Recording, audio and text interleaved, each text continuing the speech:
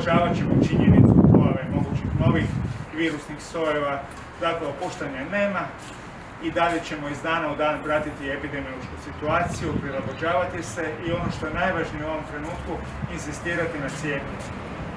I danas sam na vladi rekao da svi oni naši građani koji nemaju nekakav opravdani zdravstveni razlog da se ne cijepe, morali bi se cijepiti. Ono je otklanjati predrasude, strahove, Stoga je naš zadatak svih nas i zdravstvenih profesionalaca, ali i vas medija naglašavati važnost e, cijepljenja. I svakodnevno u Ministarstvu e, zdravstva imamo sastanke radne skupine koje se bavi tom problematikom. Činjenica je i ne bježimo od toga interes među građanstvom u ovom trenutku je nešto manji nego što je to bilo očekivano. Međutim, promjenom paradigme i načina cijepljenja nastojimo odgovoriti na te nove izazove.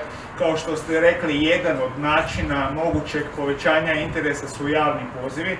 Oni će već od sljedećeg tjedna zaživjeti u većini naših županija, ali isto tako je potpuno jasno da je potrebno promijeniti način cijepljenja. Do sada smo pozivali naše građane na masovne punktove, sada kada smo primijetili da je taj interes manji, potrebno je okrenuti se prema zajednici. Dakle, iz tih e, naših masovnih punkteva, sve cijepitelje, mobilne timove uputiti prema terenu. To je upravo ono što se i radi i u nekoliko navrata sam već i javnosti zahvalio pojedinim koordinatorima županijskim za cijepljenje, poput onih u Virovitičko-Podravskoj županiji koji su došli do nekih novih inovativnih načina cijepljenja koristeći COVID autobuse na neki način tako dolazeći do onih sredina u kojima možda ni nema zdravstvenih ustanova i dolazeći do, karikiram, svakog praga.